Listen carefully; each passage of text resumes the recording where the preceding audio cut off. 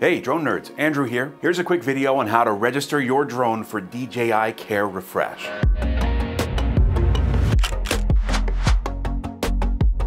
The first thing you'll want to do is create a DJI account. Afterwards, head to this website. I'll have a link in the description. Make sure you have your drone's serial number available. Ideally, you'll activate this registration before flying your brand new drone, but you do have a 48 hour window after activation. The first page you see on this website is where you're going to enter your DJI Care Refresh activation code. Complete the CAPTCHA and click Next. The second page is for inputting your drone's serial number, as well as verifying your Care Refresh activation code and drone model. Double check that everything is accurate, then enter your drone's serial number and click Next. The final page is for putting in your name, phone number, and email address. Make sure you use the same email address for Care Refresh that you used to create your DJI account. Then click Submit. And there you go, your DJI Care Refresh is now active. Thanks for watching.